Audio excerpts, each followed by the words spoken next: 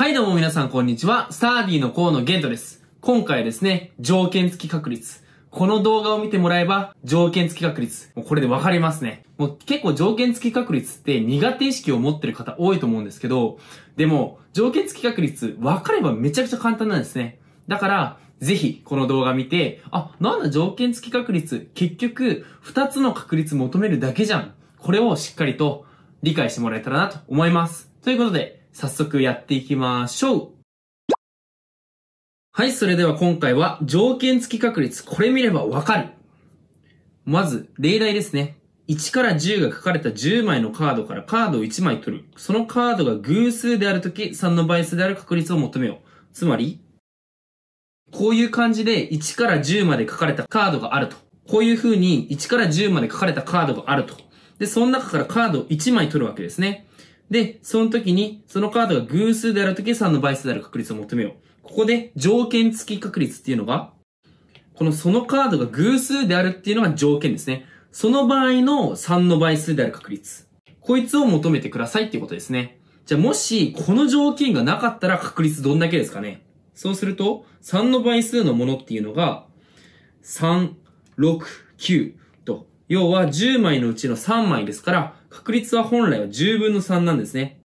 だけど、そのカードが偶数であるという風に言われた場合に、これ、1から10のカードのうち一気に絞られるんですよ。どういうことかというと、偶数のカードっていうのが、この2、4、6、8、10の5枚しかありえないわけですね。だからそのカードが偶数であるって言われた瞬間に、1、3、5、7、9っていう世界はもうなくなったんですよ。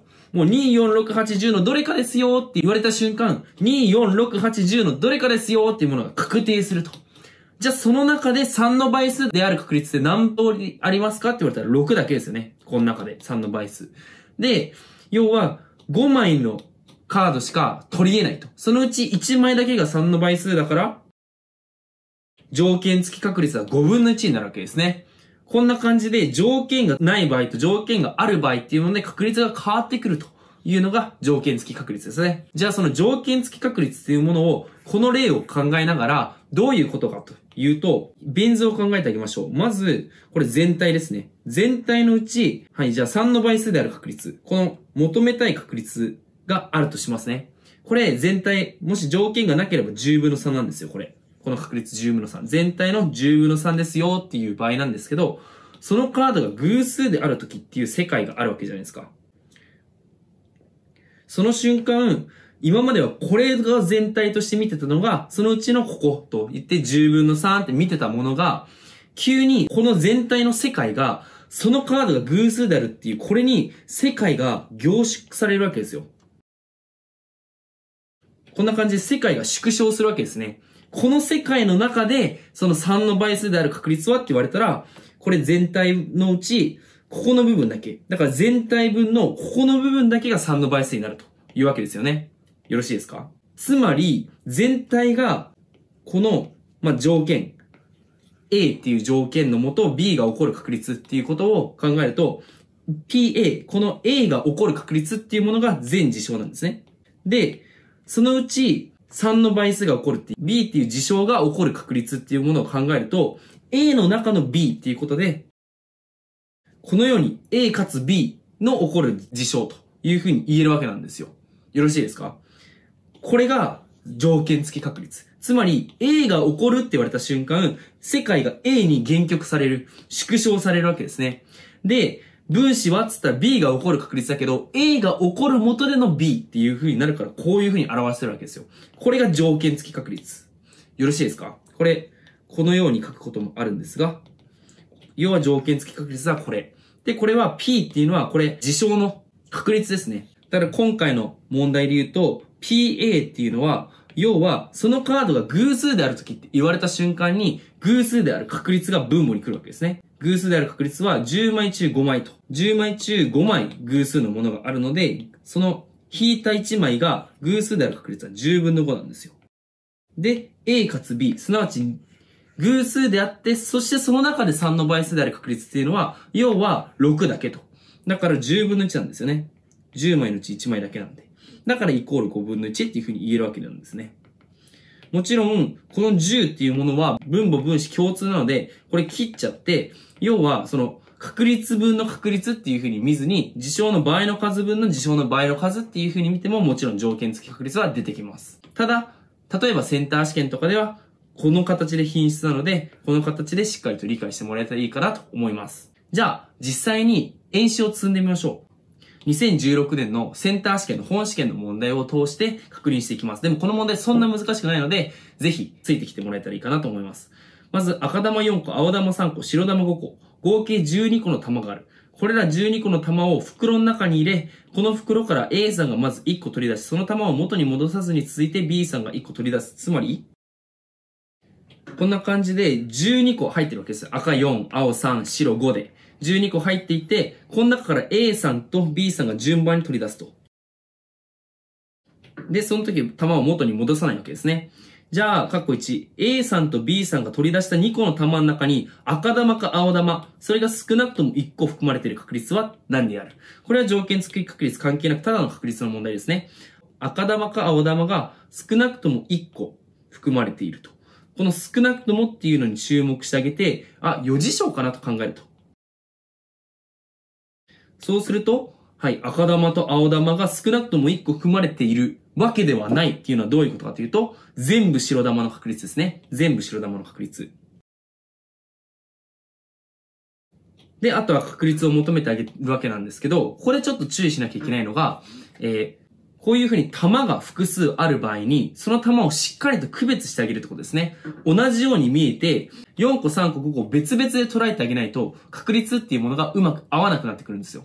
その理由っていうのが、A さんと B さんが、例えば赤玉2つを取る確率と青玉2つを取る確率っていうのは違いますよね。それっていうのは赤玉4個あるわけだから、赤玉2つ取る確率の方が大きいはずなんですよ。こんな感じで、その、同じ赤玉2つ取るのと青玉2つ取る確率っていうのが違う以上、それを同じものとして考えてはいけない。だから全部バラバラにして考えてあげることによって、赤玉1、赤玉2を取る確率と、青玉1、青玉2を取る確率、これは一緒になるので、それで、こういうふうに全部の確率を一緒に揃えてあげるために全部バラバラにしなきゃいけないというわけですね。全部バラバラにしてあげると、要は A さんは12個の玉を取る可能性があって、B さんは残りの11通りの玉を取る方法がありますね。そのうち A さんが白玉5通りの中から取って B さんが1個取られた後の4通りの取り方があると。これが全部白玉となる確率ですね。それを1から引くと。これを計算してあげればいいわけですね。だからあとこれ約分して、ここ33分の5になるから、イコール33分の28と。こんな感じになるわけです。じゃあ続き。A さんが赤玉を取り出して、かつ B さんが白玉を取り出す確率は何である？これは簡単ですね。A さんが赤玉を取り出す確率っていうのは、まあ、2通りの考え方があって、普通に分母を 12×11 と見てあげると、A さんが赤玉、赤1から赤4の4通りの取り方があると。B さんの白玉は白1から白5の5通りあると。この確率ですね。で、33分の5と。はたまた、A さんが赤を取り出す確率は12分の4じゃないですか。12個あるうちの4個だから12分の4。で、B さんがその残りの11個の玉から白玉を取り出す確率っていうのは11分の5になるから、こういう風に表せる。まあもちろんこれとこれは同じものですね。で、これより A さんが取り出した玉が赤玉であったとき、これが条件。B さんが取り出した玉が白玉である条件付き確率は B さんが取り出した玉が白玉であると。これが求めたい確率と。これもう簡単ですね。世界が A さんが取り出した玉が赤玉っていうものにギュッと凝縮されるわけですよ。世界が凝縮される。凝縮後の確率っていうものが何になるかというと、もちろん A さんが赤玉っていうのは12個あるうち4個の赤玉のうちのどれかを取る確率だから12分の4と。これが世界ですね。世界が12分の4に凝縮されてあげると。だからこのベン図で考えてあげると、A さんが取り出した玉が赤玉であった確率、B さんが取り出した玉が白玉である確率っていうことを見てあげると、世界がここに凝縮される。で、そのうちのここの部分の確率を求めてあげればいい。だから、世界は12分の4で、この共通項っていうのはさっき求めた33分の5。だから、12分の4分の33分の5。っていうのを求めてあげればよくて、まあ、これ、33分の5割る12分の4ってやってあげれば、33分の5かける、それをひっくり返した4分の12、まあ3ですね。になるから11分の5が答えと。こんな感じで条件付き確率できるんですよ。ちなみに、これ、条件付き確率で考えなくても当たり前で、A さんが取り出した玉が赤玉であったら、要は残り赤3、青3、白5になりますね。それだ、その場合に B さんが取り出した玉が白玉である確率っていうのは、11個の中から5個の白玉を取る確率になるから11分の5っていうのは当たり前なんですね、実は。うん。でも、これを普通に条件付き確率の定義に基づいて計算してあげると同じような形になると。じゃあ次、カッコ3。A さんは一玉取り出した後、その色を見ずにポケットの中にしまった。B さんが取り出した玉が白玉であることが分かったとき、A さんが取り出した玉も白玉であった条件付き確率を求めたい。これだから要は条件が B さんが取り出した玉が白玉であると。で、その時に A さんが取り出した玉も白玉であると。その条件付き確率を求めると。よろしいですか？これを求めるために何すればいいかってもう明白ですよね。だから、もう一回ベン図を考えてあげると、B さんが取り出した玉が白玉である確率っていうものが、ここに限局されると。世界が。だからそれを分母に置いてあげて、A さんが取り出した玉も白玉であった確率っていうのが、本来ここにあるはずなんですけど、世界がここに縮まったことで、結局ここの部分だけなんですよね。A さんが取り出した玉も白玉であった条件付き確率。要は、条件付き確率を求めるとき、B さんが取り出した玉が白玉であるっていう確率を求めてあげて、それが分母に来る。分の、これ分のここの部分。要は、ここの、これかつこれですね。B さんも A さんも白玉であるっていう確率を求めてあげればいいわけですよ。よろしいですか？じゃあ、それを考えてあげると、この後は誘導に乗っていくだけ。すごく簡単。A さんが赤玉を取り出し、かつ B さんが白玉を取り出す確率は、さっきやったやつですね。これ33分の5と。であり、A さんが青玉を取り出し、かつ B さんが白玉を取り出す確率は何とかである。A さんが青っていうのは、A さん3つありますね。で、B さんが白玉っていうのは B さん5個取り方あるんで 3×5 が分子に来ると。だから 3×5 が分子に来て、分母のところは 12×11 ですね。だから44分の5か。同様に A さんが白玉を取り出し、かつ B さんが白玉を取り出す確率を求めることができ、これらの事象は互い廃反であるから B さんが白玉を取り出す確率は何とか。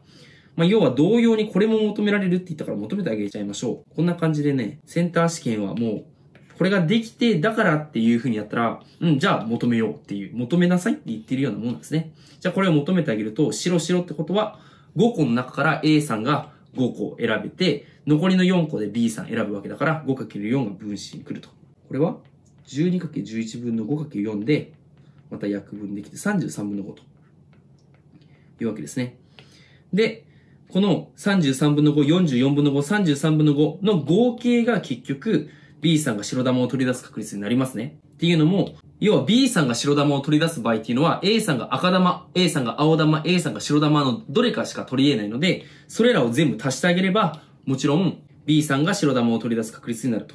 計算すると、33分の5足す44分の5足す33分の5と、イコールこれ計算すると12分の5になるから、こうなると。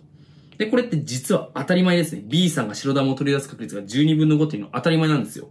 っていうのも、A さん、B さんの順番で取ろうが、結局 B さんっていうのは、はい。結局 B さんが白玉を取るのって、順番によって変わってたらおかしいじゃないですか。君先取っていいよっていう風に A さんに言った途端、その B さんが白玉を取る確率減るってことはないですよね。これ宝くじと一緒。宝くじで先譲った方が、先に宝くじ引いた方が当たりの確率が高いとか、そういうことないですよね。同じように、先に玉を取ったからって、その白玉の確率が変わってくるかと言われると、そんなことはないと。だから、12個のうち5個取る確率になって12分の5っていうのは当たり前ですね。で、ちなみによって求める条件付き確率はつったら、これの、これをもう一回見てあげると、全体は B さんが取り出した玉が白玉である。これ12分の5と。分母に12分の5が来る。じゃあ分子にはっつったら、これかつこれ。つまり A さんも B さんも白玉を取り出す確率。これさっき求めた33分の5じゃんっていうことですね。これ計算してあげると、11分の4と。だからこれ答えは11分の4。これで2016年の問題終わりですね。ちなみにこの11分の4も当たり前なんですよ。要は B さんが白玉を取り出した時に A さんが白玉を取り出す確率ですよね。これって B さんが先に白玉 A さん隠して持ってるわけですよ。何も見てない。見てなかったらもう何も取ってないのと一緒なんですよ。だから B さんがまず白玉を取りましたつって、後で A, だ A さんが適当にボールを取り出す確率と結局一緒だから、B さんが白玉1個ない。そしたら残りの11個。そこから白玉を取る確率の4、11分の4に一致するのは当たり前なんですね。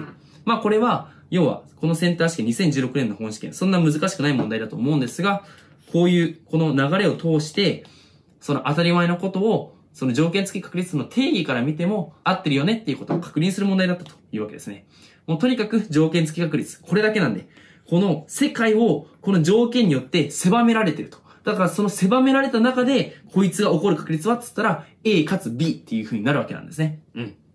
これで終わり。はい、条件付き確率もこれで終わりです。はい。じゃあ、分かったよという方は、ぜひ、チャンネル登録、高評価、あと、こんな動画撮ってほしいよっていうものがあったら、コメント欄、ぜひ、コメントをお願いします。ということで、また次回の動画でお会いしましょう